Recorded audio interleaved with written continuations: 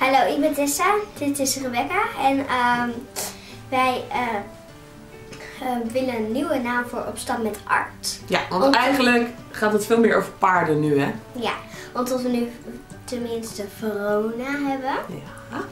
En ik wist dat eerst niet. Nee, Ja. maar we hebben nu heel veel paardenvideo's en we kregen al een paar mensen die zeiden... Kan je niet beter de naam van je kanaal veranderen en de Ja. banner en het logo? En toen dachten wij, Prima, maar het wordt een paardenkanaal, dus we zijn dus op zoek naar een nieuwe naam voor ons kanaal. ja.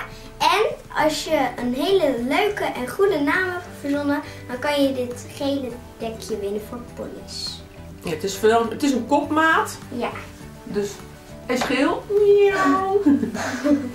hij is gevoerd. Ja. Yay! Yay! En dit is natuurlijk klittenbandsluiting. En hier aan de onderkant is ook klittenbandsluiting. Mooi wit randje er nog omheen geborduurd. En deze kun je dus winnen als jij de naam verzint voor ons kanaal. Ja. Alleen, wij kiezen hem samen. Echt? Ja? Ja.